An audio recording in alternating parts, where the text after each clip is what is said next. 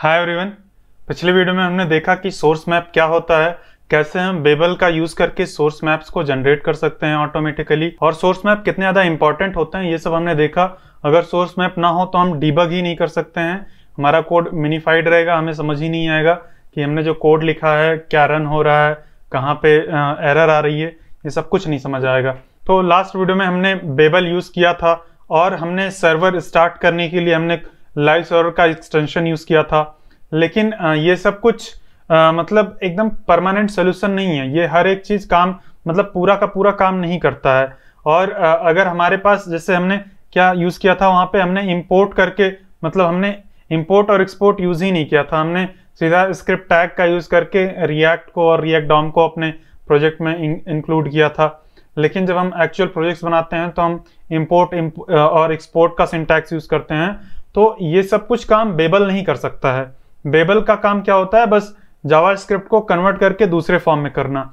JSX को convert करके actual जावा script में करना, क्योंकि जेएसएक्स एक्चुअल जावा स्क्रिप्ट नहीं होता है और नई जावा स्क्रिप्ट को कन्वर्ट करके पुरानी जावा स्क्रिप्ट पुरानी जावा स्क्रिप्ट में करना, ताकि सारे पुराने ब्राउजर्स में सपोर्टेड रहे। तो हम क्या यूज़ करते हैं? जब हम एक्चुअल प्रोजेक्ट बनाते हैं तो हम एक बंडलर यूज़ करते हैं। अब बंडलर मार्केट में कई तरह के होते हैं। मतलब कई तरह के नहीं, कई सारे बंडलर्स हैं, जिसमें से सबसे ज़्यादा पॉपुलर जो है, वो पार्सल है, एक पार्सल है, दूसरा वेब पैक है और तीसरा वीट है। इनमें से जो सबसे ज़्यादा फास्ट है, वो है वीट लेकिन इसमें जो सबसे ज़्यादा इजी टू अंडरस्टैंड है इजी टू स्टार्ट है इजी टू सेटअप है, वो है पार्सल इजी टू लर्न है। मतलब पार्सल बहुत ही ज़्यादा इजी टू लर्न है इजी टू अंडरस्टैंड है और जो वेब पैक है, वो स्लो भी है और इजी टू है ही नहीं। मतलब वो बहुत ही डिफ़िकल्ट है सेटअप करना स्टार्टिंग में। तो इसीलिए हम वेब पैक नहीं यूज़ करेंगे। हम यूज़ करेंगे पार्सल क्योंकि हमें स्टार्टिंग में समझना है। हमें हर एक चीज़ समझना है कि कैसे काम होता है बंडलर कैसे काम करते हैं। तो इस वीडियो में हम देखेंगे कि पार्सल क्या होता है और पार्सल को हम कैसे यूज़ करते हैं। तो चलो अपने स्क्रीन पे आ जाते हैं। मैं यहाँ पे एक क्रोम का विंडो खोल लेता हूँ। और यहाँ पे मैं सर्च करता हूँ पार्सल ठीक है पार्सल जेस अगर हम सर्च करेंगे तो पार्सल की वेबसाइट पे पहुँच जाएँगे और ये काफ़ी खूबसूरत वेबसाइट है।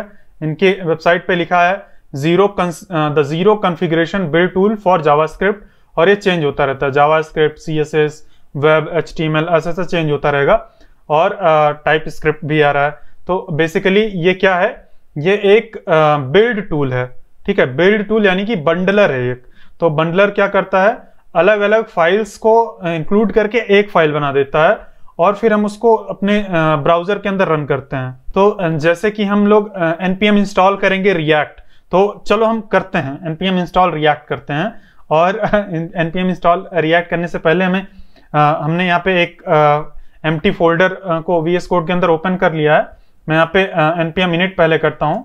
npm init करने से क्या होगा? एक और डैश वाई का फ्लैग लगा देता हूँ। इससे हमारा एक package dot JSON file create हो जाएगा और एक आ, मतलब npm का प्रोजेक्ट एक स्टार्ट हो जाएगा यहाँ पे। ठीक है? अभी मैं यहाँ पे एक index dot H file create कर लेता हूँ और यहाँ यहीं पे मैं script dot J file create कर देता हूँ। इतना मैंने क्रिएट कर दिया है और मैं इन दोनों को कनेक्ट कर देता हूँ और यहाँ पे मैं पार्सल कर देता हूँ ऐसे ही या फिर कोई भी हेडिंग हम कर सकते हैं। और ठीक है इतना हो गया और मैं स्क्रिप्ट डॉट जेएस को मैं कनेक्ट कर देता हूँ। स्क्रिप्ट डॉट जेएस को मैं यहाँ से कनेक्ट कर देता हूँ। ठीक है इतना हो गया। अभी आ, मैं क्या करता हूँ अभी तक हमने जब रिएक्ट को इंक्लूड किया था तो हमने स्क्रिप्ट टैग का यूज़ करके सीडीएन लिंक का यूज़ करके इंक्लूड किया था।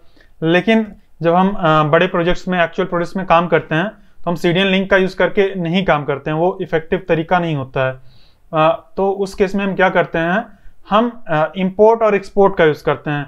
और हम क्या करते हैं? हम इंस्टॉल करते हैं रिएक्ट को। हम करते हैं npm इंस्टॉल इंस्टॉल का मैं शॉर्टकट लिख रहा हूँ आई और फिर यहाँ पे हम लिखते हैं रिएक्ट और रिएक्ट डॉम ये दोनों लाइब्रेरीज को हम इंस्टॉल करते हैं। और जब इंस्टॉल करेंगे तो यहाँ पे डिपेंडेंसीज के अंदर आ जाएगा ये। इसको करके मैं एंटर करता हूँ। ये दोनों लाइब्रेरीज इंस्टॉल हो गई हैं। यहाँ पे डिपेंडेंसीज के अंदर रिएक्ट और रिएक्ट डॉम आ चुका है। अब अगर मैं यहाँ पे लाइव सर्वर अपना वाला लाइव सर्वर ऑन करता हूँ, जो कि एक्सटेंशन है वीएस कोड का एक्सटेंशन है, इसको ऑन करता हूँ और चलाता हूँ। चलो मैं देखता हूँ। यहाँ पे कुछ लिख देता हूँ ताकि देखने के लिए रहे हमारे। मैं एच कर देता हूँ और लिख देता हूँ हेलो हेलो वर्ल्ड इतना मैंने लिख दिया। और स्क्रिप्ट डॉट जी कनेक्टेड ही है हमारा। तो मैं यहाँ पे क्या कर देता हूँ? मैं कॉन्सोल लॉग यहाँ पे भी मैं हेलो वर्ल्ड लिख देता हूँ। ये कर दिया तो हमारे कंसोल में प्रिंट होके आ रहा है क्योंकि हमने यहाँ से सर्वर स्टार्ट कर दिया है और हमारे इस एच से ये जावा स्क्रिप्ट लिंक्ड है तो ये रन कर रहा है। और अगर हम यहाँ पे नेटवर्क टैब में देखें तो यहाँ पे ये अगर ऑल में चले जाएँ तो यहाँ पे ये देखो आ, मतलब स्क्रिप्ट डॉट जो है इसको रिक्वेस्ट जा रही है। कौन रिक्वेस्ट भेज रहा है? यहाँ पे इनिशिएटर लिखा है। इंडेक्स यानी कि हमारा जो इंडेक्स डॉट एच फ़ाइल है, यानी कि जो मेन फ़ाइल है, वही रिक्वेस्ट भेज रही है। और किस लाइन नंबर से भेज रही है, अगर वहाँ पे क्लिक करेंगे तो ये भी आ जाएगा। बेसिकली हमारा ब्राउज़र जो है, वो रिक्वेस्ट भेजता है इंडेक्स डॉट मतलब जब हम यहाँ पे यूआरएल पे एंटर करेंगे, जो अभी हमारे वेबसाइट का यूआरएल है, पहले तो इंडेक्स डॉट एच आता है, फिर एच हमारा जावा स्क्रिप्ट को रिक्वेस्ट करता है। जावा स्क्रिप्ट आ जाती है, फिर एग्जीक्यूट होती है रन होती है, चल जाता है, एकदम मस्त है, सही है, चल रहा है। ठीक है? तो इतना हो गया।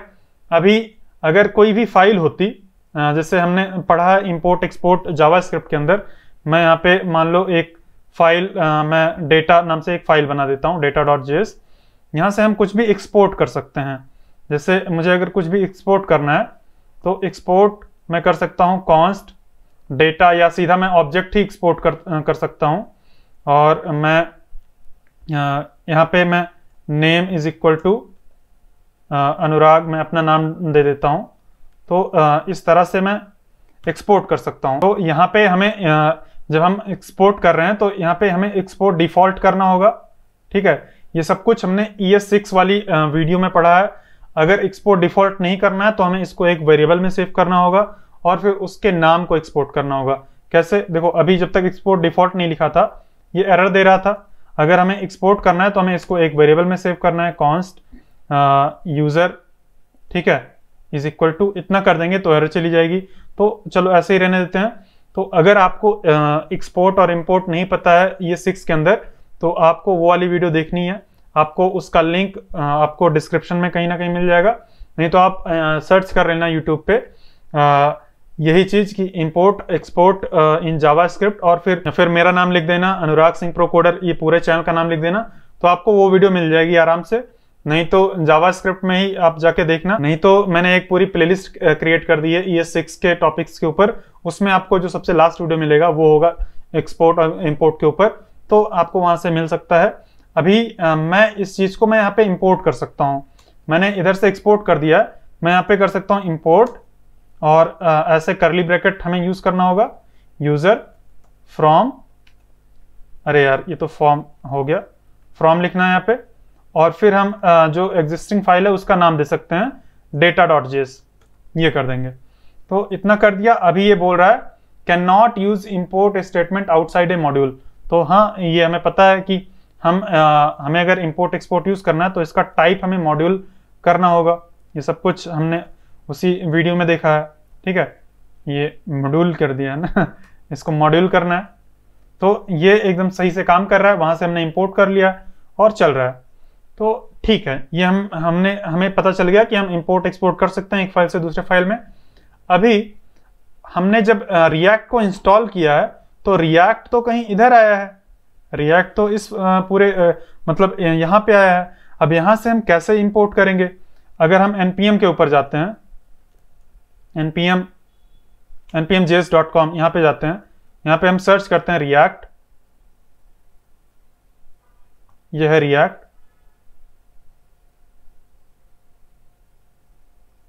और यहाँ पे अगर हम देखें तो यहाँ पे देखो चीज़ें ऐसे, यहाँ पे तो यूज़ स्टेट बता रहा है इसको अभी हमने देखा नहीं है, लेकिन यहाँ पे सीधा ऐसे ही एज इट इज़ इम्पोर्ट कर रहे हैं। इम्पोर्ट समथिंग फ्रॉम रिएक्ट तो जब हम नोड मॉड्यूल्स में कुछ भी इंस्टॉल कर लेते हैं, तब हम कैसे इम्पोर्ट करते हैं? कुछ इस तरह से। हम लिखते हैं इम्पोर्ट और फिर लिखते हैं रिएक्ट फ्रॉम रिएक्ट हम इतना कर देते हैं। और फिर अगर हम कॉन्सोल लॉक करके देखें रिएक्ट ठीक है? तो चलो देखते हैं क्या आएगा। यहाँ पे तो एरर आ रही है। ये बोल रहा है कि fail to resolve module specifier React ठीक है? जो भी रिलेटिव uh, रेफरेंसेस हैं इनको या तो स्लैश से स्टार्ट करो या तो डॉट स्लैश से या तो डॉट डॉट स्लैश से किसी भी इस तरह से मतलब uh, मतलब हम बिना डॉट स्लैश या स्लैश के इंपोर्ट ही नहीं कर सकते हैं। लेकिन अगर एनपीएम पे जाओगे तो कहीं भी तुम्हें डॉट स्लैश मिलेगा नहीं। सीधा उस लाइब्रेरी का नाम है। जो हमने इंस्टॉल किया, सीधा उसी का नाम हमें लिख के इम्पोर्ट कर लेना होता है। तो ये क्या है? ये क्या मजरा है? तो एक्चुअल में ये जो नोड मॉड्यूल्स है, ये हमारा ब्राउज़र इसको नहीं समझता है। हम ब्राउज़र पे सर्व भी कर देंगे। हमने पूरा सर्वर स्टार्ट कर दिया है। अगर हम यहाँ पे खोलेंगे स्लैश नोड मॉड्यूल्स यहाँ पे हम अगर लिख देते हैं नोड अंडरस्कोर मॉड्यूल्स ठीक है?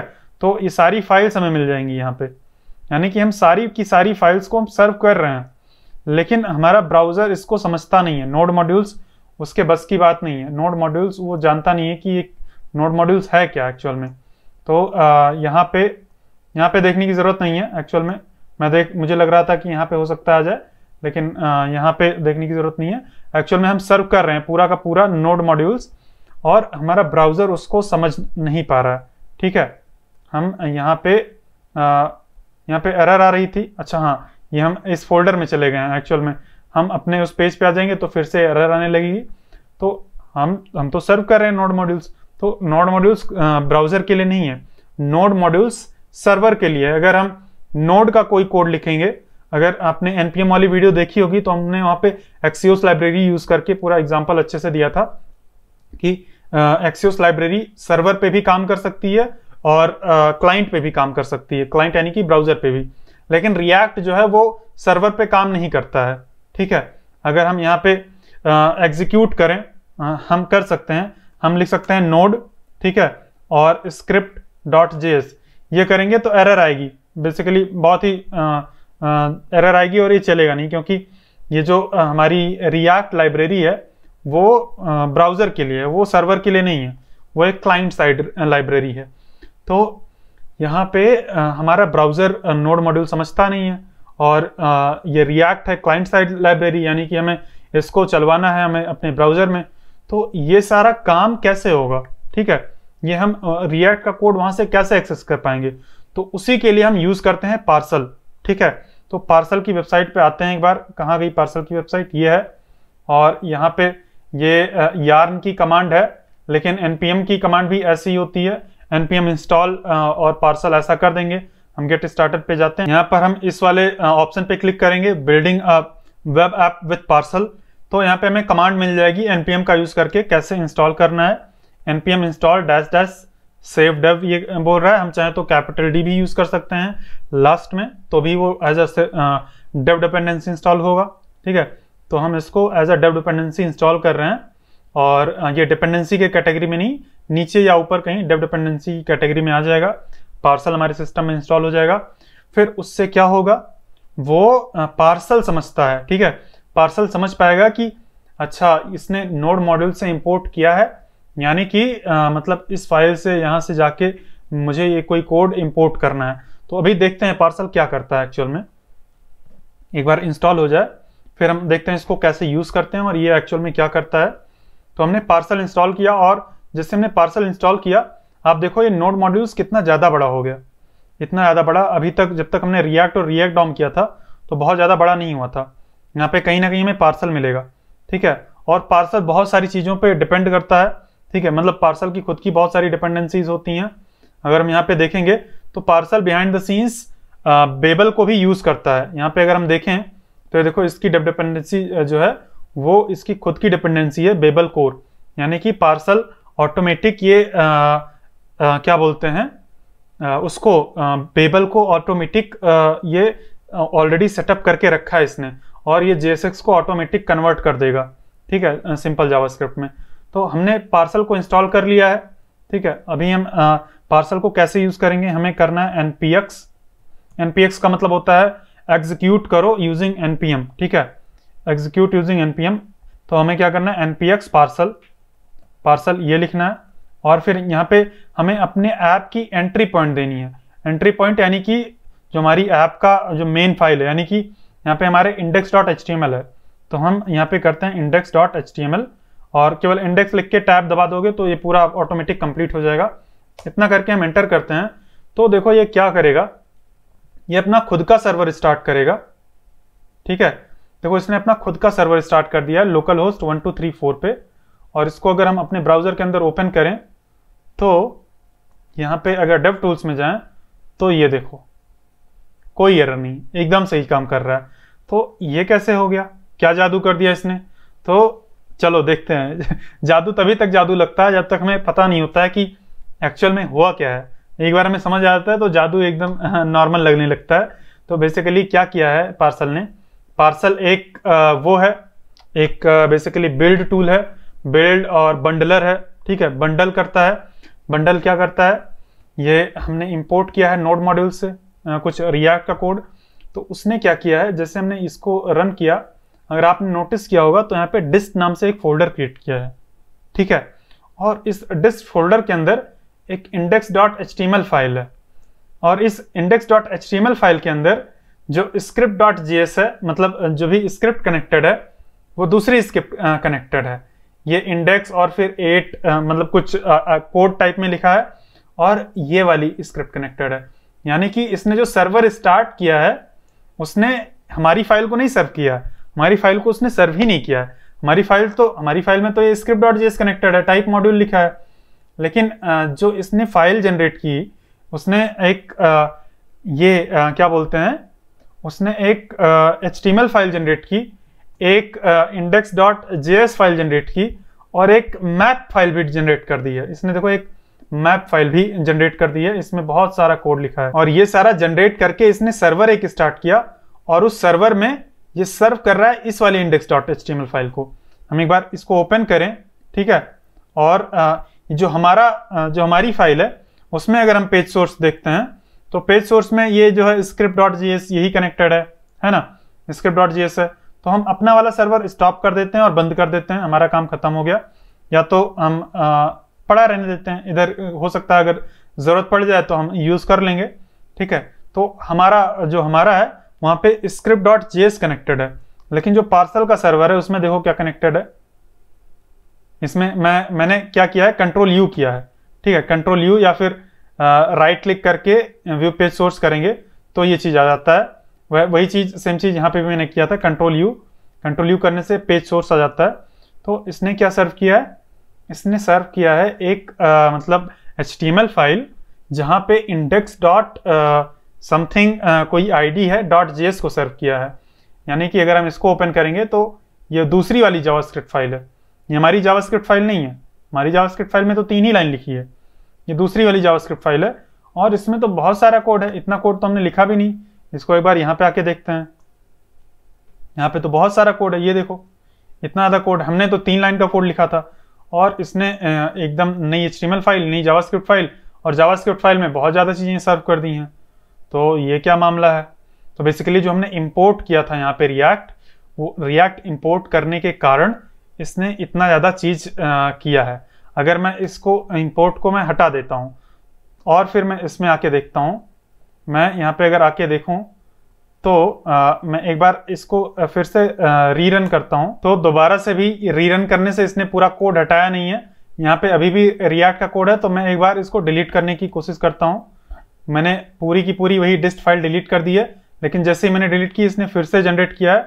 और फिर से अगर हम देखें तो फिर से इसने रिएक्ट की इतनी सारी मतलब इतना सारा चीज़ इसने रिएक्ट का फिर से लिख दिया है। अभी आ, मैंने रिएक्ट तो अपने इस कोड में यूज़ नहीं किया है। तो इसको कैसे पता है कि रिएक्ट का इतना कोड लिखना है? शायद हमने जो रिएक्ट इंस्टॉल किया है उसके कारण हो। ठीक है? तो आ, मैं ये पूरा कोड हटा देता हूँ और एक बार रिएक्ट को अनइंस्टॉल करके देखते हैं। ठीक है?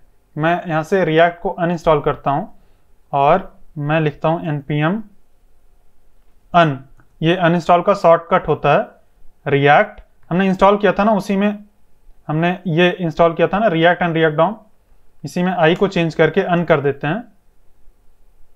तो ये हमने अन कर दिया है। अभी मैं पार्सल का यूज़ करके मैं इसको डिलीट कर देता हूँ एकदम से और कैशे भी डिलीट कर देता हूँ। हो सकता है कैशे के कारण हो कुछ ठीक है?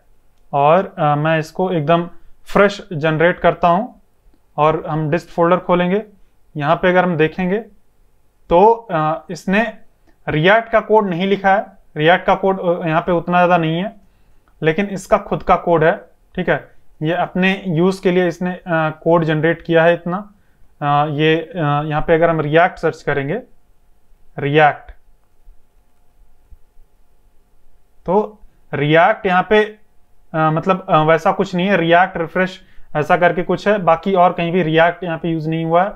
तो बेसिकली ये इतना फ़ाइल इसने खुद के लिए जनरेट किया है, ठीक है? और यहीं पे हमारा कहीं कोड होगा जो कि हमने लिखा था कॉन्सोल लॉग हेलो मतलब ये हेलो वर्ल्ड किया था ना? तो यहीं पे हमारा खुद का कोड होगा, ये देखो। हमारा कोड बस इतना है, बाकी सारा इसका कोड है। तो इसने इतना सारा कोड क्यों लिख दिया भाई? हमने तो अपना ही थोड़ा सा कोड लिखा था। तो बेसिकली ये बहुत सारे काम करता है। अगर हम पार्सल की वेबसाइट पे चले जाएँ तो यहाँ पे देखो, सबसे पहला काम तो एक वेब सर्वर स्टार्ट करता है। दूसरा काम ये हॉट रिलोडिंग करता है। अभी हॉट रिलोडिंग क्या होता है? हॉट रिलोडिंग बेसिकली हम लोग चेंजेस कर रहे हैं ऑटोमेटिक वो हमारे ब्राउज़र पे अपडेट हो रहा है दिख रहा है। लेकिन आ, हमने आ, ऐसा लाइव सर्वर का यूज़ करके किया है ऑलरेडी तो वो उस केस में क्या होता है? हमारा पेज पूरा का पूरा रिलोड होता है। लेकिन हॉट रिलोडिंग में क्या होता है? हॉट रिलोडिंग का फुल फॉर्म होता है। आ, मतलब हॉट रिलोडिंग का कोई फुल फॉर्म नहीं होता है। एक शॉर्ट फॉर्म होता है एचएमआर और फिर उसका फुल फॉर्म होता है हॉट मॉड्यूल रिप्लेसमेंट अगर हम यहाँ पे सर्च करें एच एच एम आर ठीक है? एच एम आर अगर केवल बस इतना ही सर्च कर लेंगे H M R full form तो ये मैंने सर्च करके देखा था, ये आ रहा है हैदराबाद मेट्रो रेल ठीक है? तो ये नहीं सर्च करना है हमें। हमें कर देना है इन जावा स्क्रिप्ट तो ये क्या आएगा? हॉट मॉड्यूल रिप्लेसमेंट ये देखो वेब पैक भी ये काम करता है और पार्सल भी ये काम करता है, क्योंकि दोनों सेम काम करते हैं, दोनों बंडलर्स हैं, ठीक है? तो ये क्या होता है? बेसिकली हॉट मॉड्यूल रिप्लेसमेंट ये बहुत ही मस्त टेक्निक होती है। इससे हमारा जो ब्राउज़र होता है, वो ऑटोमेटिक मतलब बिना रिलोड हुए चेंजेस रिफ्लेक्ट हो जाते हैं हमारे ब्राउज़र के अंदर, ठीक है? इसको मैं करके दिखाता हूँ एक बार आपको। अगर हम कोई भी जावा स्क्रिप्ट में अगर चेंजेस करेंगे तो वो ऑटोमेटिक जावा स्क्रिप्ट या सीएसएस में चेंजेस करेंगे तो ऑटोमेटिक बिना पेज रिलोड हुए दिख जाता है। अगर मैं यहाँ पे अभी अगर मैं खोलूँ, और मैं कॉन्सोल के अंदर यहाँ पे मैंने हेलो वर्ल्ड लिखा है, दो एक्सक्लामेशन मार्क है यहाँ पे। अगर मैं हटाता हूँ तो अभी देखना आप हमारा पेज रिलोड हो रहा है, ये रिलोड होके दिख रहा है। अगर मैं फिर से कंट्रोल जेट कर रहा हूँ तो चेंजेस रिफ्लेक्ट हो रहे हैं, लेकिन रिलोड होके दिख रहा है। लेकिन, अगर हम हॉट रिलोडिंग चाहते हैं यहाँ पे तो हमें थोड़ा सा कोड लिखना होगा। वो कोड हमें पार्सल की वेबसाइट पे ही मिल जाएगा। आ, तो वो मैंने ऑलरेडी कॉपी कर रखा है यहाँ पे। अगर मैं विंडोज़ भी करूँ और यहाँ पे मैं पेस्ट करूँ तो बस इतना सा कोड लिख देंगे तो इससे क्या होगा? हम कोई भी चेंज करेंगे हम कितना भी एक्सक्लेमेशन मार्क लाएँगे आप इस चीज़ को ध्यान से देखना ये चीज़ रिलोड नहीं हो रहा है। और ये हमारा आउटपुट यहाँ पे ऑटोमेटिक रिफ्लेक्ट हो रहा है। तो इसी चीज़ को बोलते हैं hot module replacement H M R ठीक है? तो ये काम करता है। इस सब के लिए इसको और भी कोड की ज़रूरत पड़ती है। तो इसीलिए हमें ये हमने एक डाटा नाम से फ़ाइल क्रिएट करी थी, इसको मैं डिलीट कर देता हूँ, इसको हम यूज़ नहीं कर रहे हैं। तो उन सब कामों के लिए, बहुत सारे काम के लिए यहाँ पे इतना अपना खुद का कोड लिखता है और फिर बाकी बाद में थोड़ा सा हमारा कोड ऐड कर देता है और इसके अलावा हॉट मॉड्यूल रिलोड के अलावा क्या करता है? डायग्नोस्टिक्स करता है मतलब जो भी एरर आती हैं, उनको बहुत ही अच्छे से शो करता है। जैसे कि अगर हम यहाँ पे कोई भी एक ऐसा मतलब कोई वेरिएबल हम कौन लॉक कर लें, जैसे कि मैं यूज़र वेरिएबल कौन लॉक कर लेता हूँ। तो यहाँ पे यहाँ पे हमारे पेज में ये एरर दे रहा है कि यूज़र इज़ नॉट डिफाइंड लेकिन अगर uh, कई बार ये मतलब बहुत ही अच्छे से एरर देता है हमारे पूरे इस पेज पे आ जाती है एरर जब हम इंपोर्ट एक्सपोर्ट करते हैं जब रिएक्ट को इंपोर्ट करते हैं और कुछ नहीं मिलता है तो काफ़ी अच्छे से एरर आती है। ठीक है यहाँ पे हमारे एरर शो कर देते शो कर देता है ये। तो ये डायग्नोस्टिक्स यहाँ पे मतलब दिखा रहा है। तो इसके लिए उसको कुछ कोड चाहिए होगा ठीक है? और फिर नेटिव परफॉर्मेंस ये सब तो अलग चीज़ है। और भी अगर हम नीचे आ जाएँ तो क्या कर रहा है? ट्री शेकिंग कर रहा है ठीक है? तो आ, बाकी ये सब तो आ, मुझे लगता है कि ये सब कुछ वो अपना सॉफ्टवेयर के हिसाब से कर रहा होगा ठीक है? ये नोड का कोड होगा ये हमारे जावास्क्रिप्ट के कोड के अंदर नहीं होगा। तो ट्री शेकिंग क्या होती है? आप पढ़ सकते हैं यहाँ पे बहुत सारी चीज़ें हैं। ट्री शेकिंग बेसिकली ऐसा कोड जो कि यूज़ नहीं हो रहा है उसको एलिमिनेट कर देता है। जैसे हमने कोई फ़ंक्शन बनाया है जिसको हम यूज़ नहीं कर रहे हैं तो उसको हमारे प्रोडक्शन बिल्ड में नहीं डालेगा। हमारा आउटपुट वाली जावास्क्रिप्ट फ़ाइल है वहाँ पे नहीं डालेगा। मिनिफिकेशन करता है इमेज ऑप्टिमाइजेशन करता है कंप्रेशन करता है कोड स्प्लिटिंग करता है बहुत सारी चीज़ें करता है। इसको आप आ, आके आराम से पढ़ सकते हैं और इन डिटेल समझ सकते हैं कि ये क्या क्या करता है और इसकी वेबसाइट मुझे बहुत सुंदर लगती है।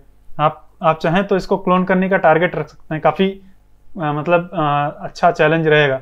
काफ़ी चैलेंजिंग वेबसाइट है। इसको आप चाहें तो क्लोन कर सकते हैं। काफ़ी अच्छी सुंदर और चैलेंजिंग वेबसाइट है और ईजी भी है। ईजी के साथ साथ चैलेंजिंग भी है। मतलब सिंपल ई है लेकिन बहुत ही ब्यूटीफुल है। ठीक है तो आप इसको ट्राई करें इसको क्लोन करने का। अगर आपका मन हो तो आप आ, कर सकते हैं इसको क्लोन हाँ तो आ, ये बहुत सारी चीज़ें करता है इसीलिए इतना सारा कोड इस, इसने आउटपुट किया है यहाँ पे और उसी में हमारा थोड़ा सा कोड है। ठीक है और फिर नीचे इसने ऑटोमेटिकली सोर्स मैप को कनेक्ट कर दिया। हमने पिछली वीडियो में देखा, हम बेबल का यूज़ करके कैसे हमें बताना पड़ता है बेबल को कि सोर्स मैप यूज़ करो और फिर सोर्स मैप को कनेक्ट करो। यहाँ पे इसने ऑलरेडी अपने मन से कर दिया है सोर्स मैप को कनेक्ट ठीक है सोर्स मैप को जनरेट भी कर दिया कनेक्ट भी कर दिया है।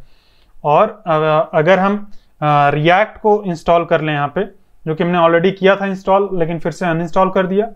हम, हमने ये समझने के लिए अनइंस्टॉल कर दिया कि मतलब बिना रिएक्ट के ये कितने लाइंस का कोड रखता है? तो बेसिकली बिना रिएक्ट के अगर हम केवल कुछ भी नहीं लगते हैं तो केवल पार्सल जो है वो जनरेट करता है 500 लाइन का कोड और अगर हम यहाँ पे इंस्टॉल कर लें रिएक्ट इसको अन को चेंज करके आई कर देते हैं। ये करके एंटर प्रेस करेंगे तो ये हमारे सिस्टम में रिएक्ट और रिएक्ट डॉम दोनों इंस्टॉल हो जाएगा।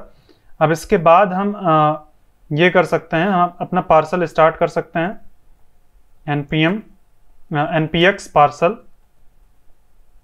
index dot H ये कर देंगे। और फिर एक बार बिल्ड हो जाने दो इसको। इसने बिल्ड कर दिया है और सर्वर भी स्टार्ट कर दिया है। अब हम यहाँ पे जेएसएस लिख सकते हैं। हम यहाँ पे लिखेंगे H one is equal to इस तरह से हम क्रिएट कर लेंगे एक एच वन यहाँ पे हम लिख देंगे हेलो वर्ल्ड ये कर देते हैं। और ये देखो, इसने बिल्ड कर दिया है। अब बिल्ड करके इसने क्या किया?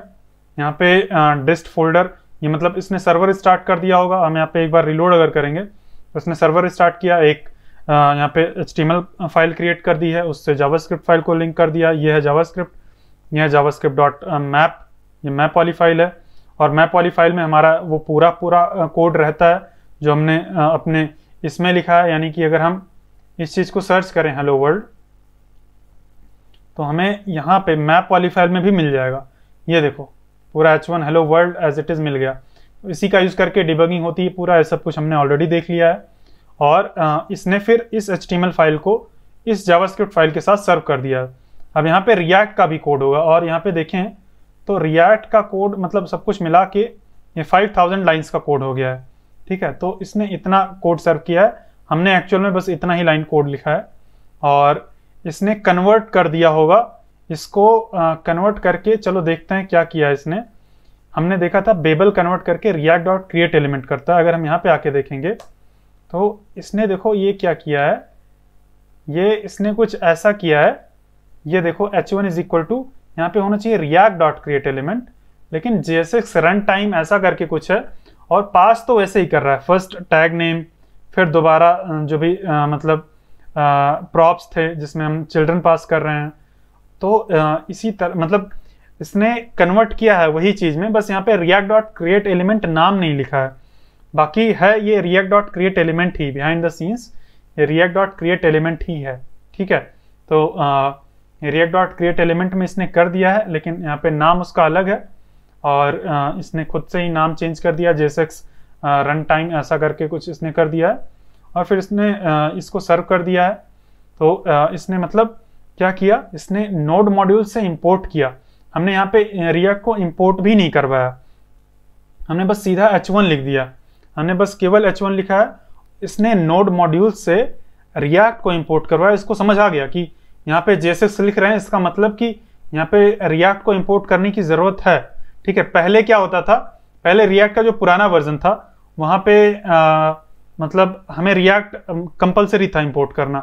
तो आ, उस टाइम पे पार्सल में भी हमें इंपोर्ट करना पड़ता था। लेकिन रिएक्ट का जो न्यू वर्जन है वहाँ पे हमें इंपोर्ट करने की ज़रूरत नहीं है। वो ऑटोमेटिकली इंपोर्ट कर लेता है। मतलब जो भी बिल्ड टूल्स हैं उनको मतलब फ्रीडम दे दी गई कि तुम ऑटोमेटिकली इंपोर्ट कर लो। आ, अगर जेसक्स कहीं भी यूज़ हो रहा है तो आ, नहीं तो हमें क्या करना पड़ता? हमें इंपोर्ट करना पड़ता। ठीक है? तो हमने आ, ये रिएक्ट तो इंपोर्ट कर लिया है। हम रिएक्ट डॉम चलो इसको हम रेंडर करवाते हैं। हमने जैसे कि यहाँ पे H1 लिखा है तो हम इसको हटा देते हैं। हम यहाँ पे लिखते हैं डिव एक। डिव की एक आईडी दे देते हैं। यहाँ पे मैं आईडी दे दे के यहाँ पे आईडी रूट दे देता हूँ इसमें। ठीक है? ये हमारी आईडी है और ये हमारा सर्वर क्रैश हो गया है कोई बात नहीं। एक बार हम थोड़ा सा सेटअप करते हैं। हम क्या करेंगे? हम यहाँ पे हमने रिएक्ट नहीं इंपोर्ट किया है। इसका मतलब ये नहीं हमें वो भी क्या बोलते हैं रिएक्ट डॉम भी इंपोर्ट नहीं करना पड़ेगा। हमें रिएक्ट डॉम को इंपोर्ट करना पड़ेगा। चलो अभी हम रूट को क्रिएट करते हैं कॉन्स्ट हमने एकदम स्टार्टिंग के वीडियो में देखा था जब हमने रिएक्ट एलिमेंट पढ़ा था तो हमने देखा था कि रूट कैसे क्रिएट करते हैं।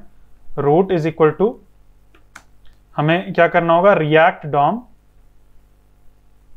dot create root ये करना है, और फिर यहाँ पे हमें document dot get element by ID या क्वेरी सेलेक्टर कुछ भी कर सकते हैं। हम गेट एलिमेंट बाई आईडी भी कर सकते हैं। और यहाँ पे हम आई डी रूट दे देते हैं। यानी कि हमने रूट क्रिएट कर लिया अब रूट के अंदर हमें रेंडर करना है। रूट डॉट रेंडर ये जो H1 हमने क्रिएट किया है। और फिर इसका इतना करके हम एक बार अपने सर्वर को स्टार्ट करते हैं और देखते हैं चलता है कि नहीं। एन पी एक्स पार्सल और ये करते हैं। तो इतना कर दिया हमने। और इसको अगर हम रिलोड करेंगे तो बोल रहा है कि ये React DOM is not defined और हाँ अब देखो ये जो एरर आ रही है एकदम मस्त, अच्छे से, हमें पूरे केवल डेव टूल्स में ही नहीं, हमें एकदम यहाँ पे भी दिख रही है। हमें अपने पेज के ऊपर भी दिख रही है एरर कि क्या एक्चुअल में एरर है। तो ये ये मैं यहाँ पे क्लिक कर रहा हूँ, ये मुझे उधर लेके जा रहा है।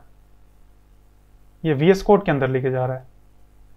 ये तो बहुत सही है, मैंने पहले एक्सप्लोर भी नहीं किया था। मैं यहाँ पे क्लिक कर रहा हूँ, यहाँ पे लेके जा रहा है। और यहाँ पे क्लिक करने पे नहीं ले जा रहा है। ओ ले जा रहा है। ठीक है? तो ये बोल रहा है कि कहाँ से तुम्हारी एरर आ रही है? मतलब वी कोड में लेके जा रहा है और बता रहा है कि ये एरर आ रही है। तो ये जो एरर दिखाने का जो पूरा कोड है, ये सब कुछ उसी में लिखा है इंडेक्स डॉट एच में। मतलब इंडेक्स डॉट जेएस में जो एक्स्ट्रा कोड था ना, हमने देखा था स्टार्टिंग में 500 लाइन ठीक है? लगभग 500 लाइन का कोड था। हमारा केवल एक लाइन का था, बाकी सारा 500 लाइन का, उसका खुद का कोड था। तो ये सब कुछ एरर दिखाने के लिए कोड था। अभी बोल रहा है कि React DOM is not define यानी कि हमें रिएक्ट डॉम को इम्पोर्ट करना होगा। तो चलो इम्पोर्ट करते हैं। आ, कैसे इम्पोर्ट करना है? इम्पोर्ट रिएक्ट डॉम और कहाँ से इम्पोर्ट करना है? ये करली ब्रैकेट एक तो यहाँ पे लगाने की ज़रूरत नहीं है। मतलब लगाना नहीं है। अगर लगा देंगे तो एरर आ जाएगी। और रिएक्ट स्लैश डॉम से इंपोर्ट करना है। ठीक है? रिएक्ट स्लैश नहीं रिएक्ट डैश डॉम तो इससे इंपोर्ट करते हैं। और ये चल गया है। और ये रेंडर भी होके आ रहा है, लेकिन यहाँ पे एक वार्निंग आ रही है। वार्निंग ये है कि you are importing create root मतलब फ्रॉम रिएक्ट डॉम तो जो भी हम इम्पोर्ट कर रहे हैं, ठीक है मतलब जो भी हम ये क्रिएट रूट जहाँ से भी हम यूज़ कर रहे हैं, ये हम रिएक्ट डॉम से यूज़ कर रहे हैं। जबकि हमें रिएक्ट डॉम से यूज़ नहीं करना है, हमें रिएक्ट डॉम स्लैश क्लाइंट से यूज़ करना है। यानी कि हम चाहें तो हम इसको सीधा एज इट इज़ इंपोर्ट कर सकते हैं। ठीक है? हम यहाँ पे क्लाइंट मतलब क्रिएट रूट कर सकते हैं हम। मैंने मतलब मैंने रिएक्ट डॉम से क्रिएट रूट को इंपोर्ट कर लिया है। तो अभी भी वही एरर आ रही है और ये बोल रहा है कि तुम्हें स्लैश क्लाइंट से इंपोर्ट करना है। तो ये एरर या वार्निंग जो भी है, ये चली जाएगी। तो इस तरह से हम इंपोर्ट कर सकते हैं। अब हमने कोड यहाँ पे लिखा है। लेकिन एक्चुअल कोड जो भी इंपोर्ट इंपोर्ट का कोड यहाँ पे नहीं जाएगा। इसने क्या किया? ये सब कुछ इंपोर्ट करके, सब कुछ पूरा एकदम सेटअप करके एक फ़ाइल बना के इसने शेयर कर दिया यहाँ पे। हमने दूसरे फ़ाइल से इंपोर्ट किया है, लेकिन इसने केवल एक फ़ाइल बना के सर्व कर दिया सिंपल ऐप और हम चाहें तो इसको, हम पूरी डिस्ट जो फ़ाइल है, मैं एक बार रिवील इन फ़ाइल एक्सप्लोर करता हूँ। और इस फ़ाइल को मैं कहीं और, मैं डेस्कटॉप पे सीधा कॉपी कर देता हूँ। ये लो, ये मेरी डेस्कटॉप फ़ाइल पे मतलब डेस्कटॉप पे मैंने पूरी फ़ाइल कॉपी कर दी और इसको मैं ओपन कर सकता हूँ, open in V S code और मैं इसको एकदम लाइव सर्वर के साथ स्टार्ट कर सकता हूँ। मैंने यहाँ पे लाइव सर्वर के साथ इसको ओपन कर लिया है। अभी लाइव सर्वर के साथ मैंने ओपन किया है, और यहाँ पे रिएक्ट एकदम सही चल रहा है, ठीक है? रिएक्ट एकदम सही चल रहा है, और यहाँ पे जो सोर्स मैप था उसके कारण हम एकदम अच्छे से डिबग भी कर पाएँगे। और शायद सोर्स मैप यहाँ पे डिसेबल्ड हो, ठीक है? देखते हैं, यहाँ पे सोर्स मैप कनेक्टेड है कि नहीं? लास्ट में, इसीलिए मुझे वो चीज़ दिख रही है। यहाँ पे सोर्स मैप भी यहाँ पे लगा है। और यहाँ पे देख लेते हैं सोर्स मैप डिसेबल्ड है कि इनेबल्ड है। ये हाँ इनेबल जावास्क्रिप्ट सोर्स मैप इसको मैंने डिसेबल कर दिया होगा कहीं बीच में, ठीक है वीडियो के टाइम पे। तो अभी ये दिखा रहा है स्क्रिप्ट डॉट जी से लाइन नंबर ठीक है स्क्रिप्ट डॉट जेस से लाइन नंबर एट से आ रहा है। जबकि हमारे इस पूरे, इसमें, इस पूरे फोल्डर में कहीं भी स्क्रिप्ट डॉट जेस का नामो निशान नहीं है। ये सब कुछ कहाँ से हो रहा है? यहाँ से हो रहा है मैप पे। यहाँ पे कहीं ना कहीं स्क्रिप्ट डॉट जेस लिखा होगा। ये देखो स्क्रिप्ट डॉट जेस यहाँ पे लिखा है। हमें मतलब फ़ाइल का नाम बताया गया कि किस फ़ाइल से ये पूरा कोड है। तो सब कुछ सोर्स मैप के अंदर होता है मैप के अंदर, और उसी का यूज़ करके हम डिबक कर पाते हैं। तो एकदम सिंपल सा ऐप है और चल रहा है मस्त। और ठीक है, इसको मैं हटा देता हूँ डिलीट कर देता हूँ यहाँ से डेस्कटॉप से। तो पार्सल क्या कर रहा है? नोड मॉड्यूल से कोड उठा रहा है।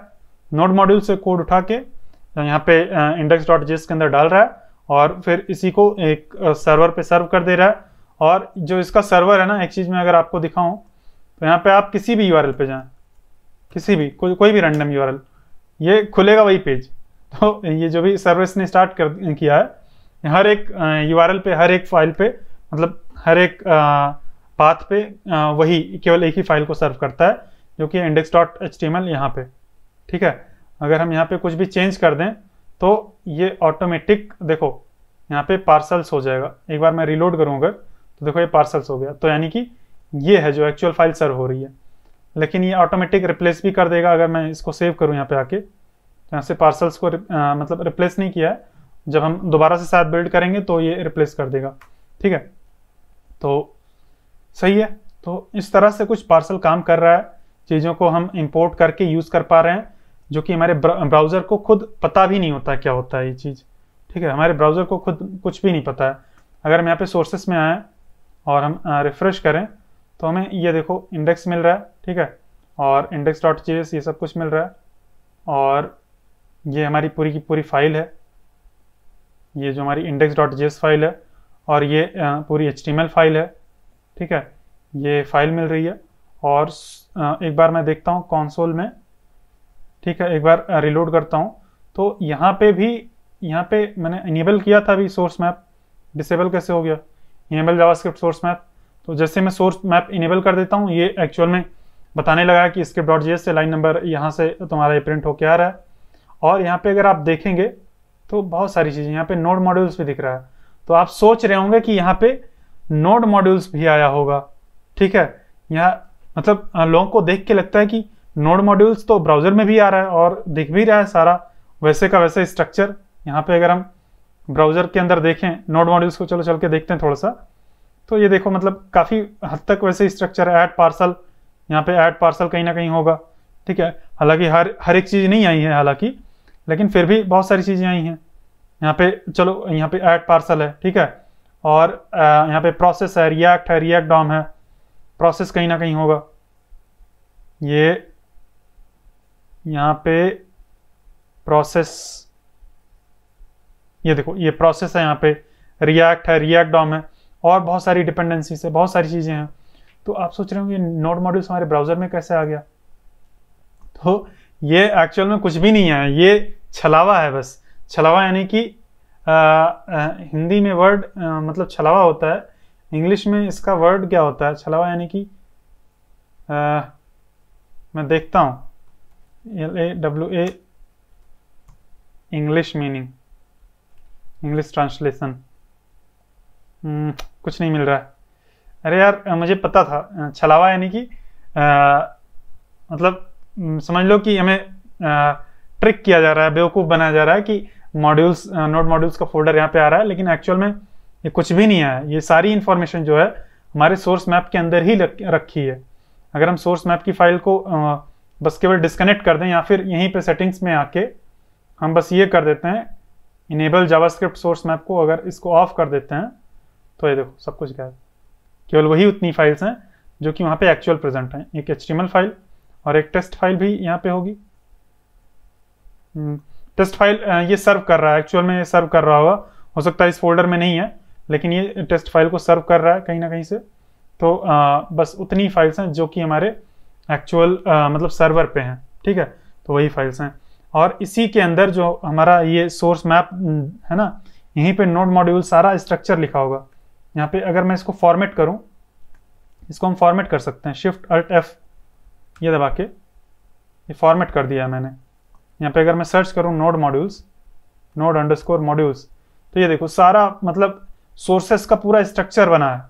तो हमारा ब्राउज़र क्या करता है? इसको समझता है इसको समझ के एक ब्राउज़र लाइक एक वो बना देता है इल्यूजन इल्यूजन काफ़ी अच्छा वर्ड है ठीक है? छलावा के लिए इल्यूजन भी उतना अच्छा वर्ड नहीं है लेकिन इल्यूजन क्रिएट कर देता है कि आ, मतलब एक फोल्डर है ऐसा जो कि मतलब इतने सारे फोल्डर्स हैं नोट मॉड्यूल्स है उसके अंदर फोल्डर्स हैं ये सब कुछ आ, बस केवल ये सोर्स मैप के कारण हमें दिख जाता है। कहाँ गया? इनेबल सोर्स मैप हाँ जैसे हमने किया हमें सारा कुछ दिखने लगा पार्सल ये सब कुछ दिखने लगा। और उस सब की जो डिटेल्स हैं सब कुछ यहाँ सोर्सेस में मैंशन है। ठीक है? सोर्सेस और सोर्सेस कंटेंट ये सब कुछ इसी के अंदर मैंशन है। तो ब्राउज़र का जो डेव टूल्स होता है वो समझता है और आ, हमें एकदम से स्ट्रक्चर्ड वे में डिबगिंग करने में ईजी होता है जब ऐसा हो जाता है तो। ये हम तुरंत अपना कोड देख सकते हैं कि कहाँ से हमारा प्रिंट हो रहा है जबकि रियलिटी में ये फ़ाइल कहीं भी नहीं है। ठीक है? ये फ़ाइल जो है ये सर्व ही नहीं हो रही है। हमारे ब्राउज़र तक जा ही नहीं रही है। तो ये होता है पार्सल पार्सल इंपोर्ट करता है वहाँ से। मतलब पार्सल को पता है कि कैसे इंपोर्ट करना है, कैसे मतलब चीज़ों को बंडल करना है, फिर सर्वर को भी स्टार्ट करना है। पार्सल का यूज़ करके हम बिल्ड कर सकते हैं। बिल्ड यानी कि अभी मिनीफाई ये नहीं कर रहा है। जो भी कोड आ रहा है, ये मिनीफाइड नहीं है ये हम पढ़ सकते हैं, देख सकते हैं, समझने लायक है। लेकिन हम इस कमांड में अगर एन npm रन बिल्ड करें, ठीक है और इंडेक्स डॉट एच ये कर दें। ये करके एंटर करेंगे तो देखो एरर आएगा।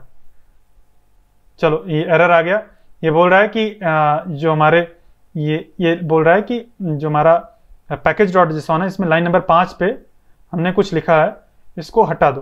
बेसिकली यहाँ पे बोल रहा है कि जो इस पैकेज डॉट जिसॉन में जो ऐप की एंट्री है ऐप की जो एंट्री पॉइंट है, वो इंडेक्स डॉट है, जबकि हम यहाँ पे दे रहे हैं इंडेक्स डॉट एच ठीक है तो यहाँ से हटा देंगे तो फिर ये काम करेगा। और जैसे हम बिल्ड करेंगे, इस डिस्ट फोल्डर के अंदर और भी चीज़ें आ जाएँगी। ठीक है, अलग से मतलब ये ये एक नया एच बना है और ये एक मिनीफाइड एच है।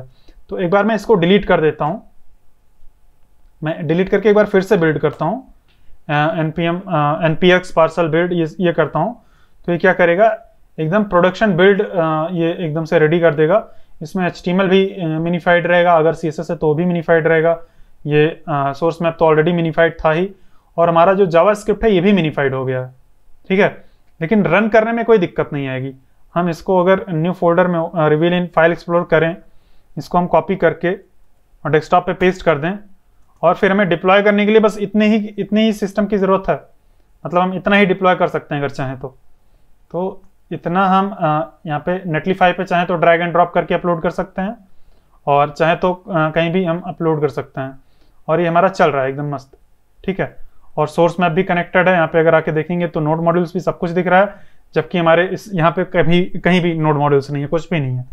तो ये एकदम सही से चल रहा है, ठीक है? और जो हम सोर्सेस में जाके कोड देखेंगे तो अभी ये जो एक्चुअल कोड है मिनीफाइड है, ये एक्चुअल कोड हमारा मिनीफाइड है यहाँ पे कहीं ना कहीं हेलो वर्ल्ड लिखा होगा। मैं इसको कॉपी करके सर्च करता हूँ।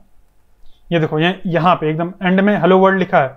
लेकिन ये जो सोर्स मैप है, यही है, जिसके कारण हम देख पा रहे हैं कि इसके डॉट जी एस एक फ़ाइल रही होगी, जहाँ से इसको जनरेट किया गया था, ठीक है, और वहाँ पे कुछ ऐसा लिखा था। तो ये डेवटूल्स इसको समझ ले रहा है। अगर हम इस चीज़ को हटा देते हैं, जो सोर्स मैप को लिंक करता है तो देखो सारा कुछ गया कुछ गया। ये अभी हम मिनीफाइड फ़ाइल में जाके कैसे देखेंगे? ये देखो इस तरह से तो दिख रहा है।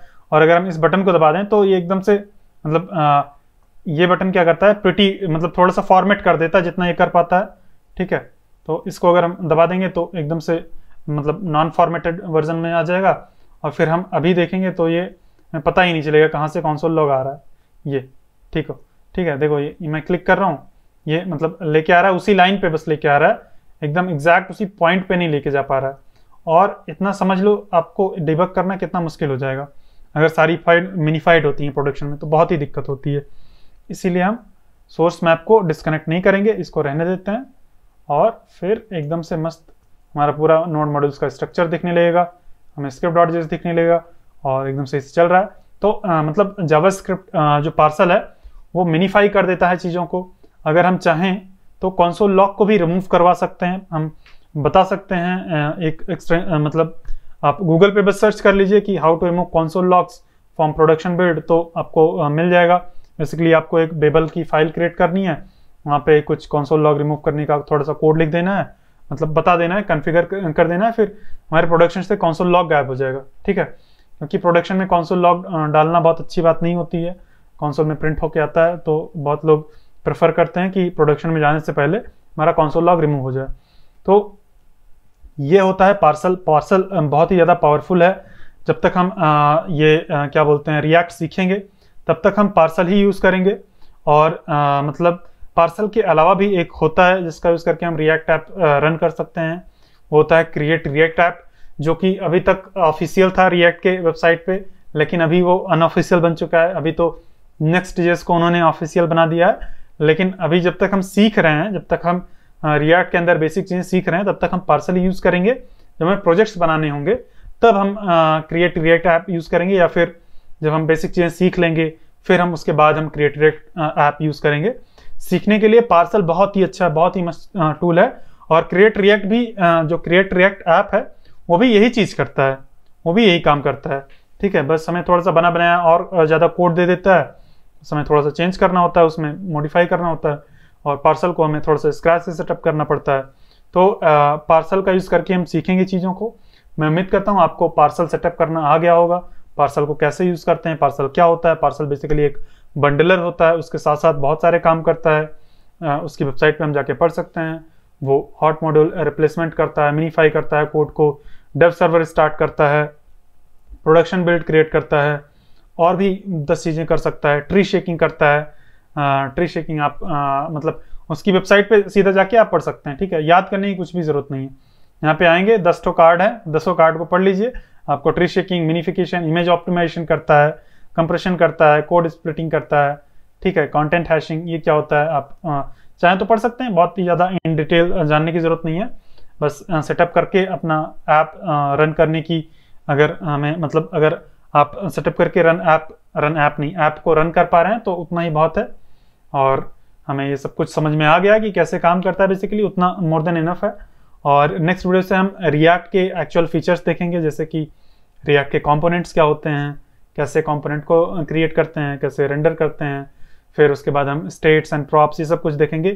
काफ़ी कूल चीज़ें आने वाली हैं तो मैं उम्मीद करता हूँ आप आने वाले वीडियोस के लिए काफ़ी एक्साइटेड होंगे। अगर इस वीडियो से रिलेटेड आपका कोई भी डाउट है, कोई भी क्वेश्चन है तो आप कमेंट में पूछ लेना। और आप चाहें तो आप टेलीग्राम ग्रुप ज्वाइन करके वहाँ पर भी अपने क्वेश्चन पूछ सकते हैं। तो मिलते हैं नेक्स्ट वीडियो में तब तक के लिए बाय बाय